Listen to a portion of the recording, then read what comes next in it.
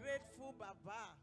Can we rise up and show our gratitude to the Lord for this wonderful day? The Lord that has kept us till today. He has given us opportunity to end this month well. We started well, and God made us to end the month of August well. Give God the thanks and say, Father, I am grateful unto you. I am grateful for health. I am grateful for life. I am grateful that I am hale and healthy. I can hear. I can see. I can walk. I can express myself. It can only be God. If not for God for us, what shall we say this morning? Our God faithful. Our God is wonderful. He's the mighty God. There is none like him. He's the incomparable God. He can never be reduced. He can never be limited. He remains God from everlasting to everlasting. He is the Lord. He is the Lord. Give him thanks and give him praise. And say, Father, we are grateful. In Jesus' name we have prayed. You can now sit down for that wonderful rendition by our choir.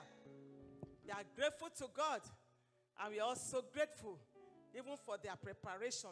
The Lord will continue to bless you and increase your anointing greatly in the name of Jesus. The Lord will keep you alive for Himself and keep you healthy. You will continue to be relevant in the hands of the Lord. Praise the Lord, somebody. Hallelujah. Amen. God is good. God is faithful. This morning, we want to look at the theme that says destined for increase. All of us here, we are destined for increase.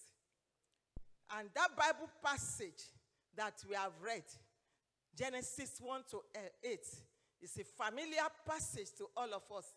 It shows the creation of the heaven and the earth, which God did. But for this moment, I want to give thanks to God for this privilege to minister God's word to us. You know, God does not work with numbers.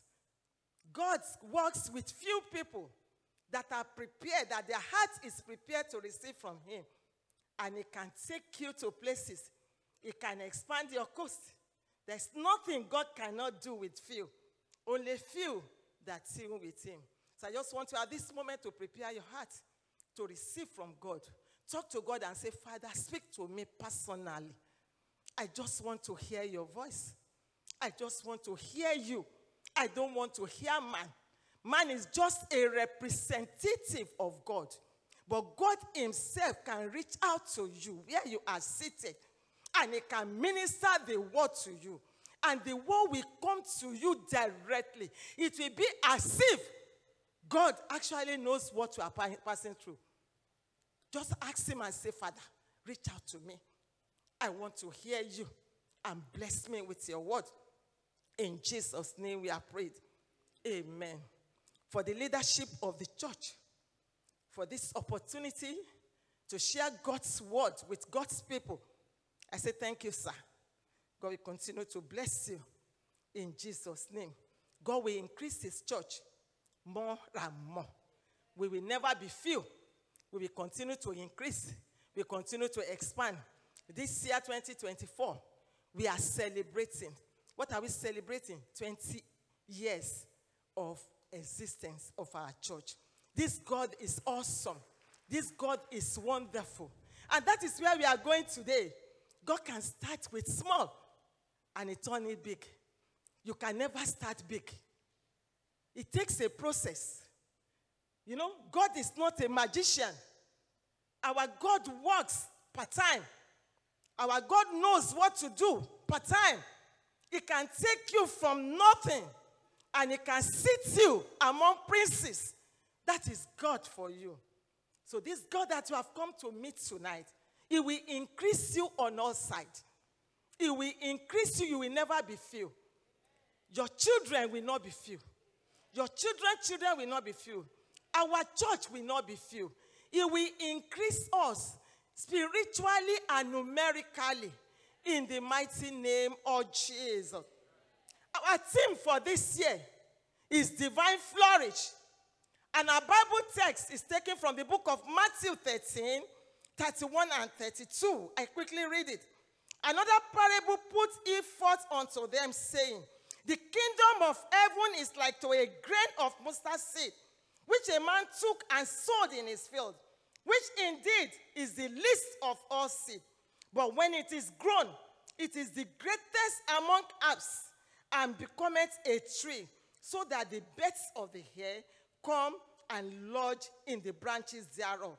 God has given his word through his servant to us that it is our year to flourish. And I pray for you that you will flourish in the name of Jesus. So today's message is related to that thing. And that says to us, you are destined for increase. And that is what you are looking at. You and I are destined for increase, for lifting, for greatness. I pray for you that God's work coming to you will work on you and do the work of increase in your life in the mighty name of Jesus. Destined for increase. I quickly we are looking at different items that is related to this thing. The first thing we are looking at is secrets. What are those secrets that you need to know that can launch you into this divine increase? What is that secret? The first thing we are looking at God's program for man. You have your own program, but God's program for you is the best. No matter the program that you have for yourself, you have to work in line with God's program for you. So the first item is first God's program for man. Man was created in God's image. In the image of God created him, male and female. So there was nothing that was created that was not created by God. There's a purpose for God creating us in His image. So you carry the image of God wherever you step to. You are carrying the capacity of God, the ability of God. This, the, you are carrying God Himself because you are going in the realm of His image. So you are conscious that you are not ordinary. You are conscious of the fact that God Himself has deposited something in you that is not ordinary. It's not something that can be bought with money. You carry God's image. You can imagine God forming us from cradle when nobody even knew. Even from photos, nobody knew that you were there. And that photos will begin to grow and grow. And all of a sudden, we will say, Congratulations, a baby has arrived. That is God for you. It can only be God. It goes beyond science. Science only works in tune, in line with God's program, in line with God's plan for man. So that formation is a pattern. It's a pattern that you need to follow. You need to tune to. When God said to us in Jeremiah 29 11, He said, I know the plan I have towards you. The plan of good and not evil. The plan to give you an expected end, to give you a brighter future. You see reasons why you need to work in tune with God, why you need to surrender and submit to Him totally. So that He can take you from nothing and you become something. God is working on you and He will continue to work for you. So God has destined you, He has destined me for continuous increase. The program of God to man is continuous. It's not static. It cannot be reduced. That is the way God has programmed it. You are supposed to move progressively. For instance, look at your feet. Where is it facing? It's facing the front, isn't it? If it's facing the back, that is there's abnormality. Something has gone wrong. And if your feet are facing forward, movement forward, never backward, you go forward, you never retard. You never go backward. That is the way God has designed it. So God is expecting you to step into your glory. He's expecting you to move into glory, not to be retarded. You will not be retarded. In the name of Jesus. That progressive moment that God has designed for your life will never be reversed. So, God's plan for you, walk in line with God's plan for you. And the second thing, a little beginning is designed for us. A little beginning. That anchor verse of Matthew 13, verses 31 to 34, it shows us the parable of the Lord Jesus of a mustard seed. I was supposed to bring a mustard seed this morning, but I forgot. One way or the other, you have seen it, how insignificant it is. If you don't look at it closely, you may not even see it. Mustard seed grow to become a mighty tree. A mighty tree that men can rest on, that birds can fly upon, that blessed can actually relax there. That is what God does.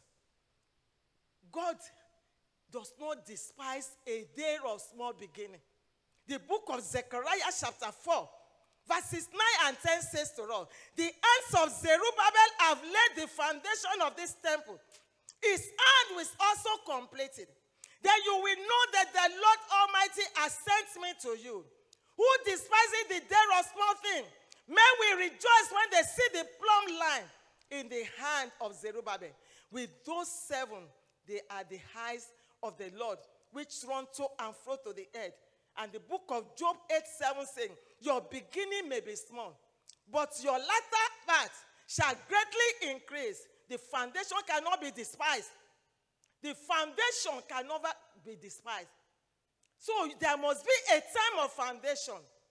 When God created man, He created Adam alone. And God saw something missing in the life of Adam. And God said, It is not good for a man to be alone. And God brought a woman. And the Adam said, This is the bone, the flesh of my flesh and the bone of my bone. I shall be called a woman. Through those two people, the whole world, men, all of us are seated here. We are created through them. You can now see how God formed a small beginning. God started with just two people. And how many can we count in the whole world now? Uncountable. So God does not want you to despise the day of small beginning. Our youth in the house, our teen in the house. There's a pattern now, a trend now. You don't you can't follow it. You can't follow the trend of gambling. It can only ruin your future. It can ruin your life totally. You cannot follow the trend of internet fraud. They call it Yahoo Yahoo, whatever it is. There must be a time of small beginning. Parents, your own parents, they all started small. And here they are today.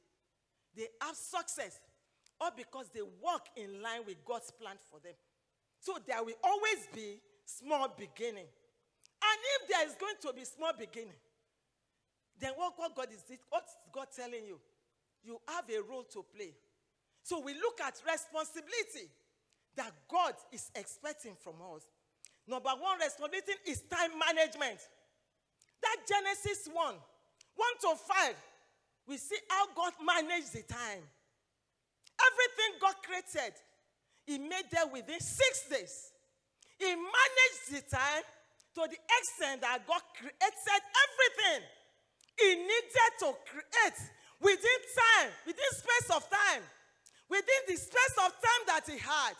He did not exceed the six days. On the seventh day, the Bible said, and God rested. So those these six days, God used them wisely. So you need to learn how to manage your time. Ecclesiastes 3:1 say, there is a time for everything and a season of eh, for every activity under the heaven. So you have to account for each day God has given you. That composer that said, time now money, oh, time now money. A time that is wasted can never be recovered. So you cannot waste any time. He said, use your time well.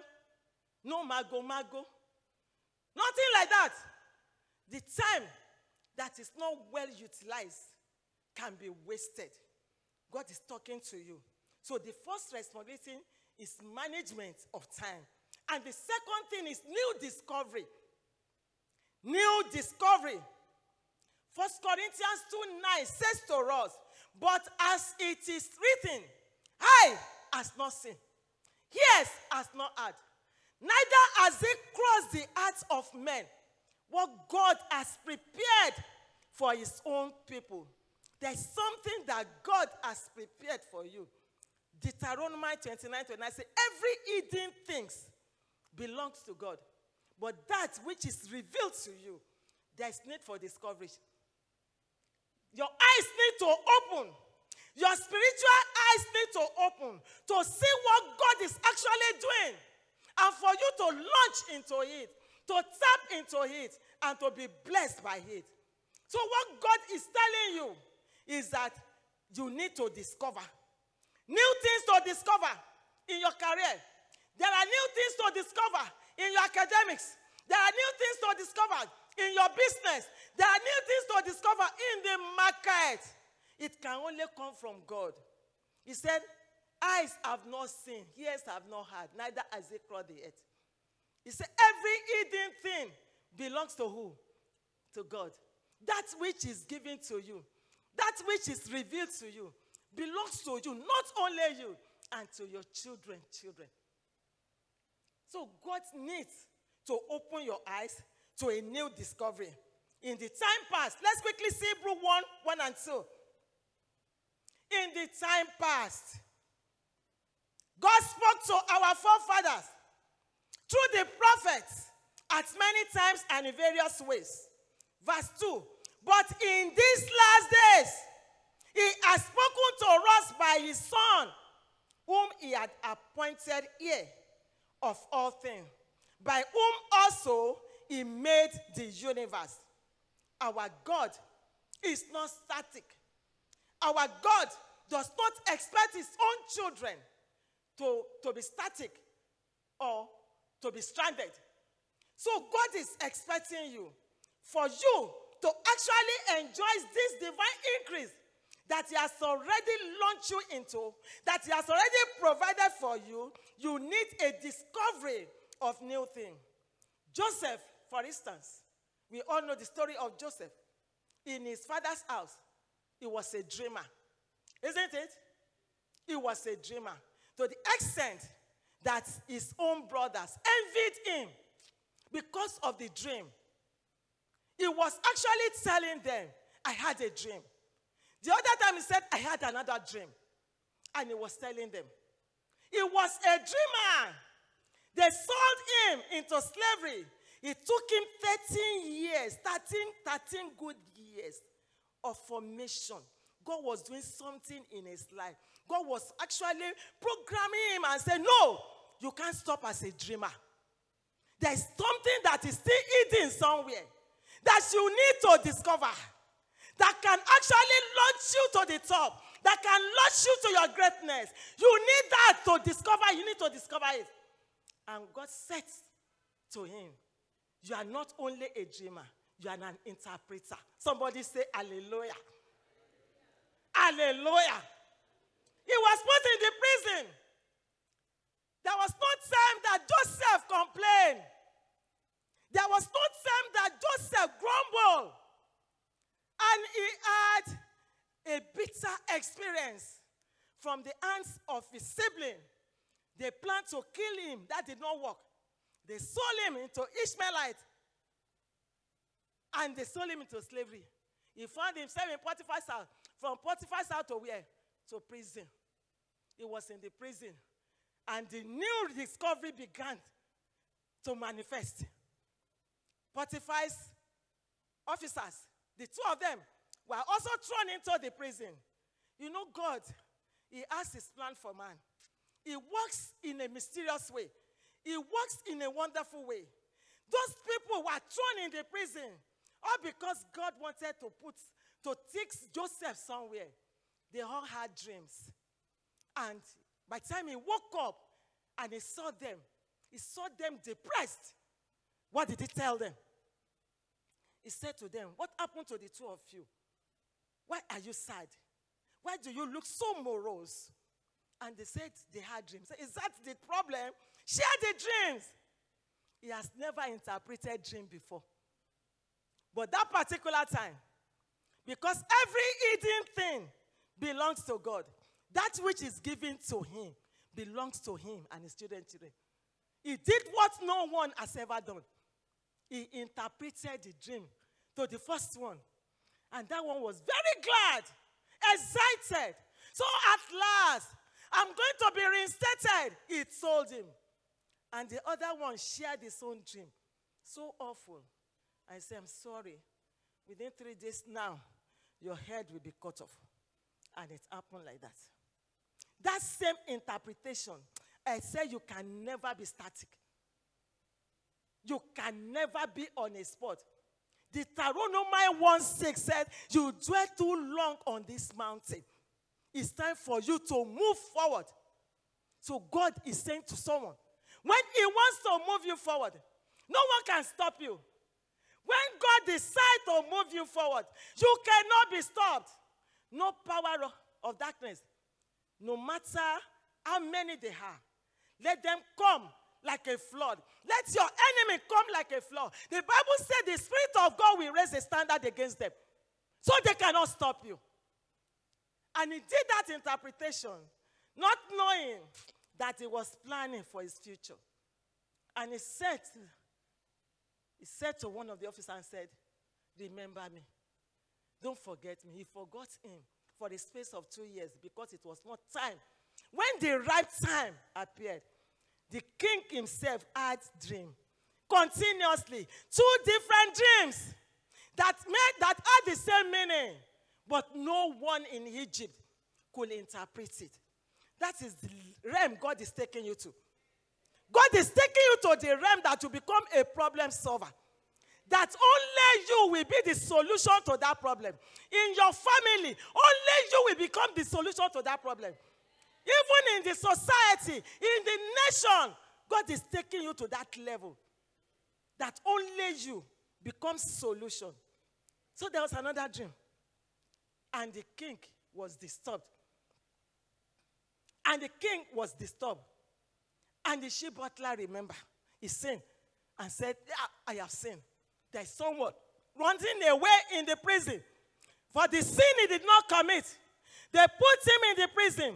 The power that be put him in the prison for nothing. He had that prison experience so that he could be on top. Any experience that you are having now, either it is pleasant or unpleasant, use it as an opportunity. I said Joseph never looked morose. He was never sad. His countenance never changed he began to praise God, to worship God the way he used to.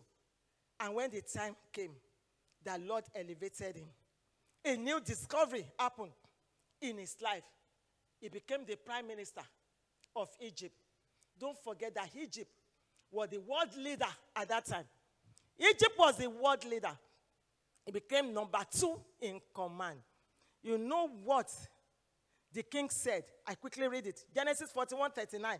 Then Pharaoh said to Joseph, Since God, can someone say God? Can someone say God? Can someone say God? He had a father, Jacob.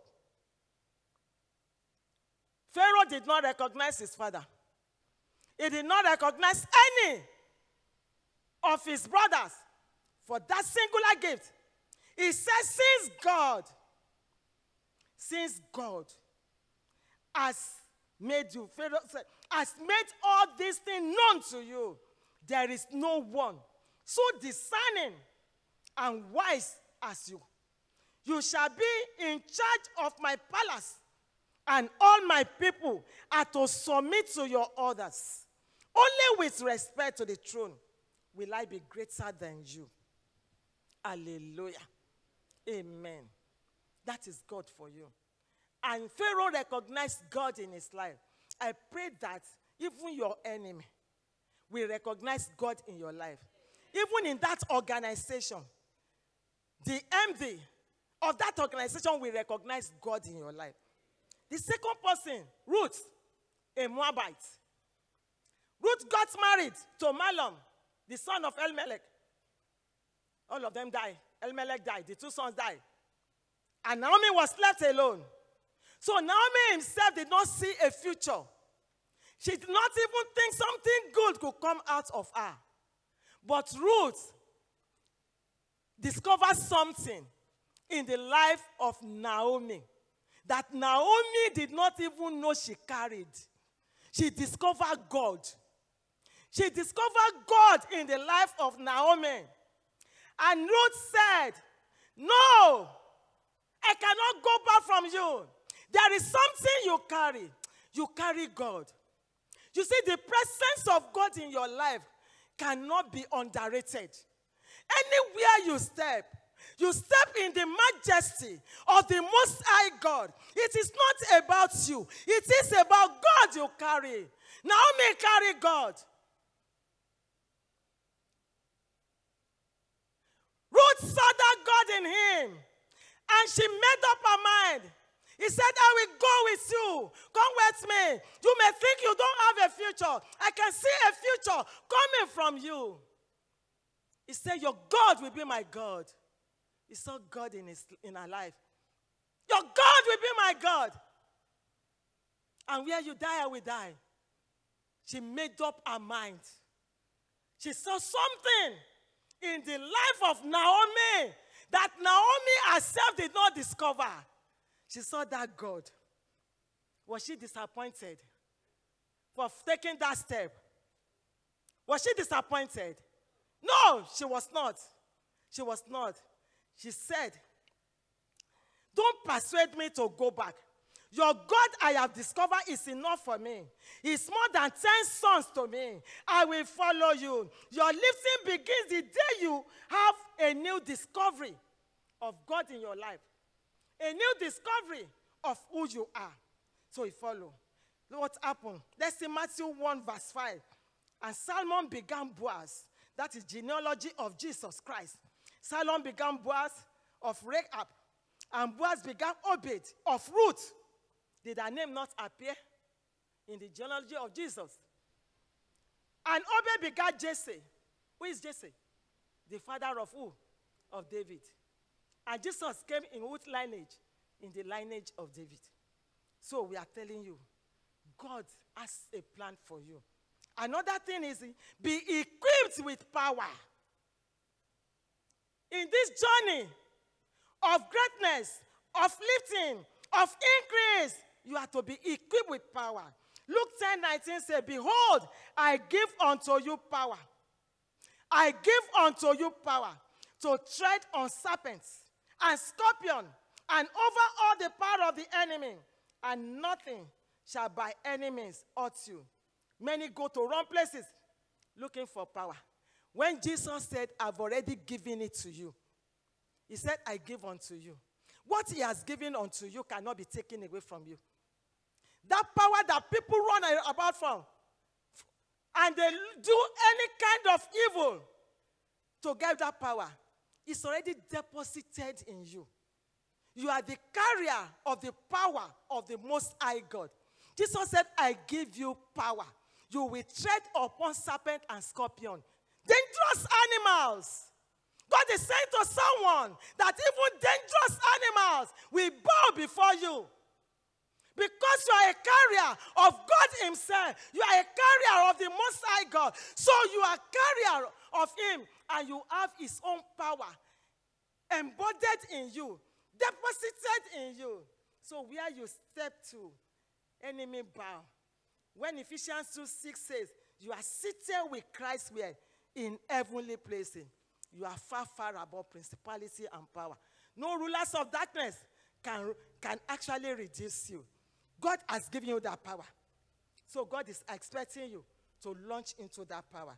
So God is saying to someone now, hindrances, there are hindrances to this divine increase that you need to work against. Number one is ingratitude. Ingratitude. You know why many died in the wilderness? Because of ingratitude. They did not make it to the promised land because of ingratitude.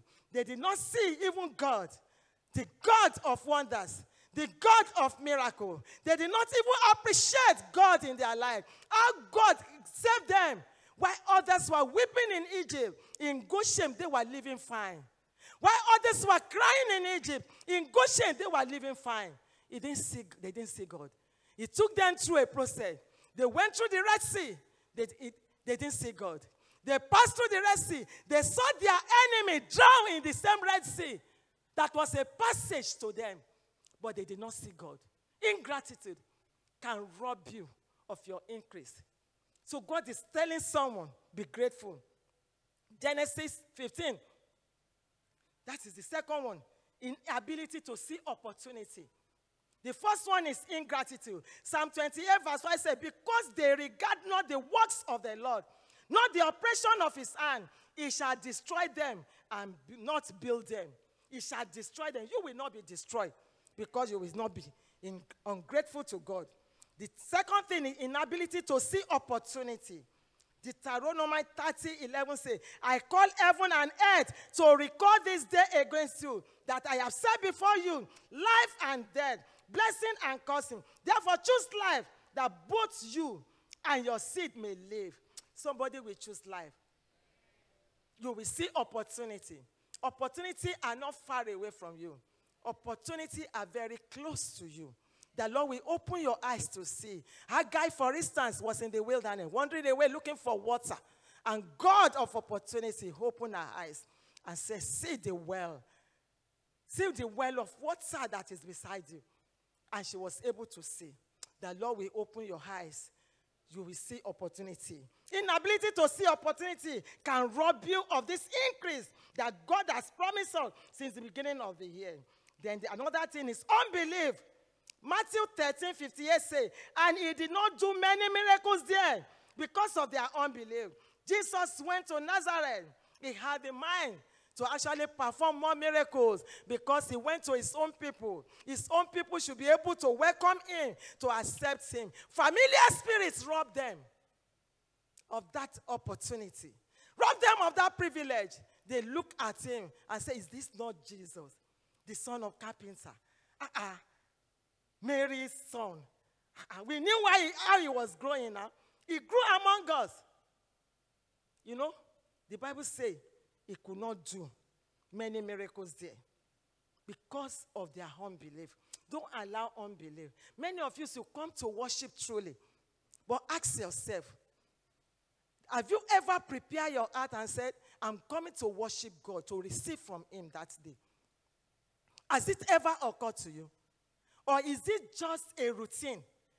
Do you just see it as a routine? They ask us to come every Sunday morning and we come. And you come and you return the same way you came because you never receive anything or because of unbelief. God is talking to someone this morning. Arise and wake yourself up. Wake yourself up. Don't allow unbelief to rob you. Don't allow unbelief to destroy you. Don't allow unbelief to uh, rob you of this divine flourish that God has given us from the beginning of the year. God, who gave the word at the beginning of the year, He actually wanted us to flourish. Thank God that we have started. Do you know we still have four months left? So it's not late for you to discover yourself. It's not late for you to launch into God's plan for us this year. That is our year of divine flourish. It's not late for you. You can actually start now. Within that four months, it took just three months for Obededom's life to be transformed. What is it that God cannot do? The same ark of the covenant that was in Abinadab's house for 20 good years and performed nothing. Enter Obededom's house just for three months. And what happened? There was transformation. There was miracle. To the extent that the king could hear about it. They began to talk about it and say, ah, ah, this is a miracle. So can we rise up this moment? Just rise up on your feet. God has promised us increase. God has promised to flourish. Has promised us into the realm of flourish. What is it that this God cannot do? Can you bless God for His word? Just go ahead and bless Him. Bless Him for His word to us. Bless Him this moment and say, Father, thank you. Of a truth, it is my season of divine increase, and I will increase. Every hindrances, can you begin to reject it? What is that ingratitude? Hindrances, is it ingratitude? Ask God to deliver you. To deliver you. Many people have even given you just a cup of water. To say thank you has become difficult. Talk less of someone who deny himself to train you. He trained you out of his own struggling. And what did you pay in return? God is saying to someone, just ask God for mercy this moment. Mercy this moment. Inability to see opportunity. Ask God to deliver you. Every unbelief, unbelief robbed the people of old of the promised land. Unbelief will not rob you of the promised land. God who has promised, He will fulfill it. He will fulfill it. Can you begin to launch into that recovery now? Launch into that recovery of increase. Launch into that recovery. Your eyes must be open. Your spiritual eyes must be open. Your spiritual ears must be attentive. You must hear God clearly. God must speak to you personally of what He wants to do. Bless the name of the Lord. There will be increase. Our church started even 20 years ago. Small. They started small. Maybe renting a place somewhere. Later, small tent. From small tent, a bigger tent. Here we are now in a big building. God can start small with you. Don't ever, despite that day of small beginning, God does not want you to be on that spot. He's taking you somewhere. Can you say, Father, take me to my place of increase? Launch me into my place of increase. Give God the thanks this moment and bless his holy name. Is anyone that wants to make a decision for this God? Pharaoh saw this God in the life of Joseph. Ruth saw this God in the life of Naomi. Do you want to make a decision now? All this success we are talking about, it can only be found in the Lord Jesus. It is in Him there is life. In Him we live, in Him we move, in Him we have our being. It can only be seen in Him. If you want to take a decision, just come on the pulpit now and say, Father, I take this decision this moment and I go for you. I go for you. I'm not asking you to raise up your hand. Just come on the pulpit. Come and touch the pulpit and say, Father, I am for Christ and for Christ alone. Give God the thanks for what He has done this moment. He's the mighty God. We give you thanks, Lord. In Jesus' name, we are prayed. Amen. Somebody shout hallelujah.